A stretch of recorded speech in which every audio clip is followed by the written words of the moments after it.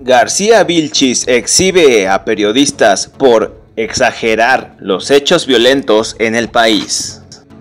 Ahora bien, ¿quiénes promocionaron esta campaña? Voy a tomar aire porque voy a mencionar bastantes nombres.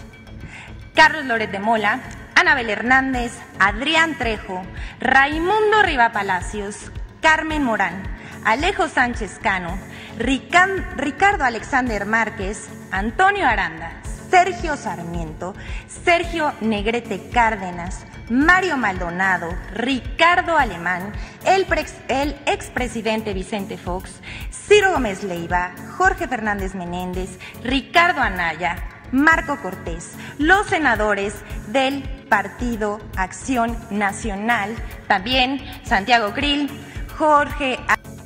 Incluso acusó al periodista Ricardo Alemán de ser parte de esta campaña. Ahí lo ven, que se parece mucho al argumento de Ricardo Alemán. Publica en su Twitter, última hora, extra, extra.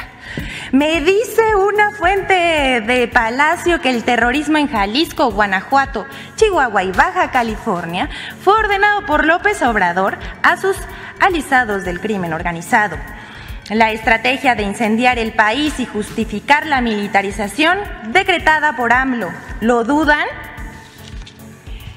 En fin.